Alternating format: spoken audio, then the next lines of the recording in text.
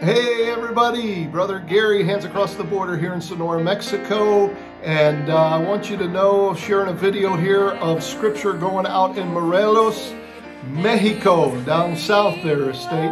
And uh, just sharing it with you so you know uh, your labor is not in vain. And people are getting the gospel, and we're excited about that. So get ready, here it comes. Don't forget, hit the like button down below and uh, share and subscribe. Lord bless you.